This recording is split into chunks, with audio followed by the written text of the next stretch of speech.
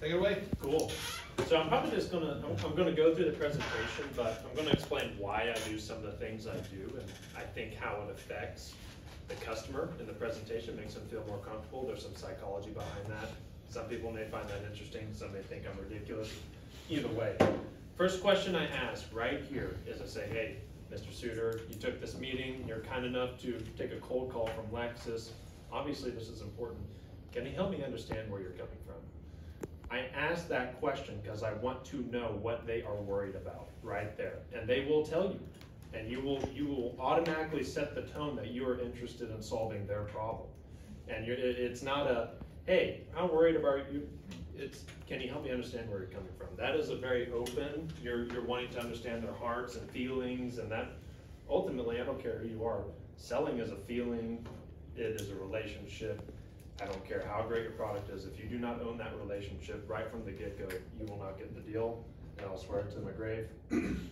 Second half, second thing I'll say too, and this might make some people uncomfortable, is I will say, okay, thank you for explaining that to me, sounds like ransomware is really important to you. Um, the way we do this is a little bit different, we look at it as behavior.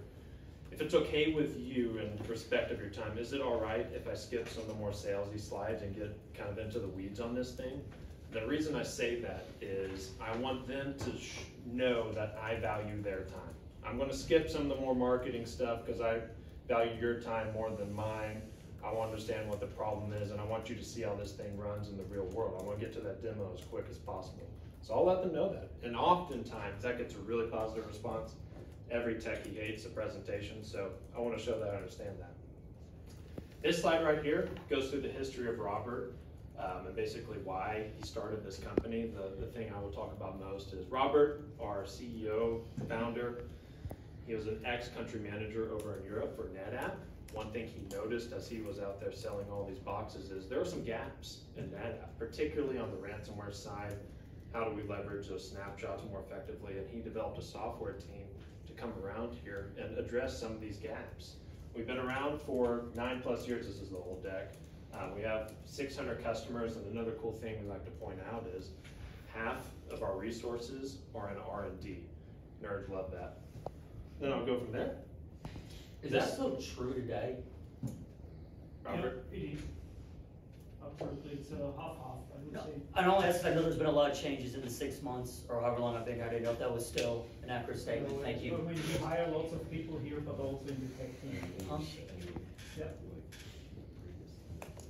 Half, half, half, half is good. Yeah, real good. So this slide has changed obviously a little bit. Right now, we're primarily focusing on CryptoSpike, but one thing I'll point out too is all these solutions were centered around NetApp. We want to hammer home how involved we are in NetApp because if we're talking to the NetApp storage admin, we want them to know we're talking the same language here. When we're talking F policy, when we're talking snapshots, when we're talking ONTAP, I want them to know that our software is built around all of those things. And that makes them more comfortable. Typically, they're going to express interest in, oh, tell me a little more about this restore manager. How do I do single, or how do I restore? How do I uh, index my snapshots? Really cool. You get the point. This slide we like to point on. insider threats. This is where we discussed insider threats. Why, why is that important? Ransomware, obviously we all know Russia is bad and China is bad. They're coming after our data. But what we saw an increase of during COVID is you're sending people home with laptops. That computer might become the family computer, right? Not so great. Maybe child thinks this cool looking ad is fun, starts clicking. Next thing you know, you're compromised. We noticed that. We saw an increase in insider threats, either from maliciousness, some of that being people laid off. Maybe their reaction to being laid off was, hey, I'm going to manipulate a bunch of data. The other half was what I discussed earlier. Sometimes the kids, family computer becomes a compromised estate. Where the reason I bring that up is because CryptoSpike addresses those issues. I'll usually skip this slide and this slide. Those are the two slides I'll skip to fulfill my promise of I'm going to skip the marketing slides with them. Now we get to the nuts and bolts of this thing. Our, our software is consistent of three pillars, a block list, a pass list, and an analyzer. Now I'm, I'm, I'm out of presentation mode. I'm going to go through some philosophy here. When, when you give a presentation, you are supposed to supply the meat, and this is the bones. So I, I, I, I don't read off the slide. I don't come in here and go, blocks, no ransomware extensions, update, I don't read that off to the customer. The knowledge is up here in the head, that's just supposed to give me a path to go along. So I'm, I'm talking through a story, I'll say, hey, I'm working with a really large oil and gas company. They, they, they built their own F policy, that's what we use. And they tried to create their own block list. What the heck's a block list? These are known ransomware file extensions. Think your dot seven sevens, your dot lock keys. Oxy, in this case, tried to build their own block list. They got up to about a hundred, took a lot of work. As of now, our list is sitting at almost five thousand ransomware file extensions, and we do that automatically for you. So say an attack took place in Europe, we catch that with our analyzer, we're gonna automatically update this block list for you. Pretty neat. Second half is a pass list, we're getting rid of that, so we won't talk about it. The other half is, or the last part is the analyzer. what is this analyzer? This is essentially our secret sauce. This is how we stop zero day attacks. They love that buzzword because everyone's worried about, oh, how do we stop something? This is how we do it. We, we, we view ransomware as a behavior.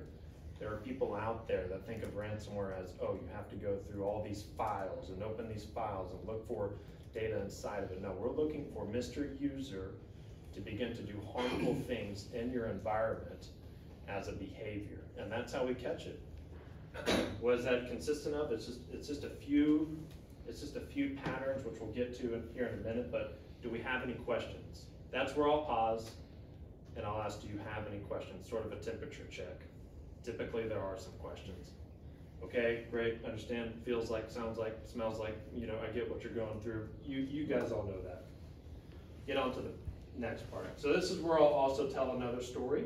Can I, sorry, can I ask this question? Yeah. If they stop it, if you stop there and they ask questions and they start going technical with stuff that you know you're gonna be showing them in the demo, Mm-hmm. do you address high level or do you like, are you like, great question, we're actually gonna show you the, the, the GUI shortly?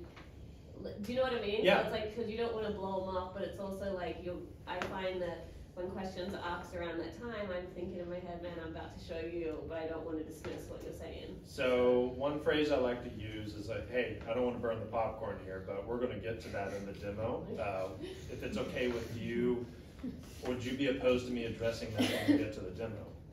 And you know, don't burn the pot. Everyone's done that before they get it. They, you don't want to overcook this thing because if they're showing interest, you want to keep them interested. The whole Yeah. goal here is how do I drive curiosity? I'm not here to push this thing down your throat. I want you to be curious. I want you to understand what it does and get more curious so that whenever Matt, Chris, now Kent starts to talk about it, that's when you can hammer them. So I, would say, Maddie, you know, that's a great question. Yeah, we get, we get so many, people are always curious about our block list. Where do you get these things? You know, how are you doing this? I don't want to burn popcorn here. Uh, we will show you our block list later Okay. and I'll show you every extension you want to see ranging from Snoop Dogg to Chernobyl. We got them all. Okay, cool, thank you. So then, once we get to this last slide, this is where I tell an actual story. I'll use, uh, you know, I'll say, say you're Mr. Storage Admin, you're going off to Thanksgiving. Typically, we see a lot of attacks take place during holidays because, you know, bad actors understand that people are away from their desk, might not be able to catch a thing. If you have CryptoSpike deployed on your NetApps, constantly looking for these bad behaviors, you don't have to worry about it. So say you're sitting at home, you get an alert, CryptoSpike has jumped into action, what has it done? It has taken a user that was deemed harmful in your environment and has put them in a bubble. Why is that important? Because typically whenever you deal with ransomware, there could, there's potential for network shutdown, really big problem. In this case, only one user has been put in a bubble and the rest of your network is up and running. From there, you'll be able to go through and do single file restores and we leverage your snapshots to do that. Why is that important? Because you lose no good data. So in a typical ransomware recovery plan, you have to hit, almost choose the lesser evil from which point you restore. So if your snapshot schedule is what, every two hours or something, there might be a window, a two-hour window where there's some really good important data that your company found, but because you were attacked prior to that, you have to restore back to it, you're gonna lose that window. That's, that's sometimes make it or break it for companies. We give you the ability to not worry about that situation. From there, after you've done your single file restores, you've made sure everything is okay, gone through your checks and balances, security gave the thumbs up, you can release Mr. User back into the wild. Why is that so great? There was no network downtime. You took care of the problem. No good data was lost. And you were able to take care of it with just a few clicks of a button, which you'll see here in a minute. Do, are there any questions here? Did I explain that okay? That's the other thing I like to ask, to get philosophical again. I don't like to ask, does that make sense? Because that means the onus is on them to understand it. If you ask, did I explain that okay, it's on me to make sure I explained our product effectively. That's a big difference. Davis, much like me, you do have a way with words. Why does everyone laugh at everything I say? You're hysterical. No, you do a really good job, your words, not mine, about psychological, or whatever, about making the customers feel good and checking in on them, but not making it so obvious that you're checking in on them, it's subtle ways of checking them on. You do lead them, and you broke it with, um, warm fuzzies through your presentations. You do do a great job of getting those gut checks without having a hard stop and doing it. Oh, that sucks. Well, thank you, Matt. That goes a long way. Um, IT help. But yeah, yeah, I mean, y'all get the point. It, it, it makes a big difference. Like, your significant other's mad at you, be like, why are you mad at me? No, you're gonna ask, what I do wrong? It's my, it's my fault, obviously. You're mad at me. You're gonna own it. And you do that with the customer too. A good husband. Does that make sense? Did I explain that okay? Totally. I'm just looking for the phone. A big ask, and I know it's extra work for you, but could you write your, I don't wanna say one-liners, but your check stops down for us? Yeah. Thank you. No I don't know if check stop's the right word, but. No, it is, it's check, it's temperature checks. Just, just record one of your sessions and that you can write it down. We're doing it now. If, if you would like to benefit from it, you know, so it's just, you know, press the record button, uh, record button, that's Yeah. it. But in my opinion, this is how you build a trusted advisor, right? You're interested in how they're feeling, you wanna make sure I'm doing my job, cause you, you jumped on my meeting. It's my problem to make sure you understand how this thing works, not your problem to understand how it works, and if you show that, it goes a long way. From here, you know, this is where I hand it off to Chris or Matt, say, hey, you know, thank you for your questions, I understand that. Uh, some of these things will be covered in the demo, might make sense to cover them now. You know, Matt or Chris, can you walk through that? And the previous two slides are ultimately important, because really what you're doing is you're setting up that demo. Now they're looking for stuff in the demo, now they're noticing what they need to notice. And that's when you get those light bulb moments from the customer, of, oh yeah, that's what I need. Right. Um, other than that, that's really it. Uh, we're getting rid of, we got rid of this slide. Uh, um, yeah, this slide was kind of a beat down. Maybe we could explain why you do that.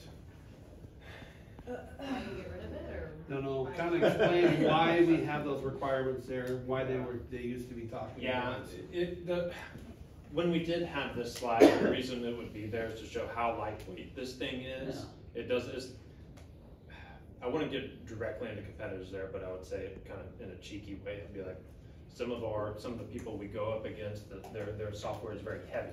They're doing full file scans, which can be taxing on latency on your NetApps. You bought a Ferrari, you probably want it to be fast. We're a lightweight tool. We're just leveraging a nice little API call called F-Policy. A Couple of OVA servers deployed. We can get this thing up and running within maybe under two hours if Matt isn't too grumpy that day. And then you're better protected automatically. It's a full-fledged product and we, we, I, I might bring up POC here, depends. uh, And this is a know your audience slide. I mean, if you've got a group, of really techie guys, the guys who are gonna be doing the install, I mean, then they're gonna wanna know this stuff. If you're still in the high level people, they don't care about this. Right, um, and that's it. So, did I, is that good for everyone? Enjoy it? Who goes to the PO two? Right, yeah, thank you. Great Um, pace. And if you're ever presenting, stand on the left side, because then they're looking left to right. That's another cool little trick. Yoda. Yoda.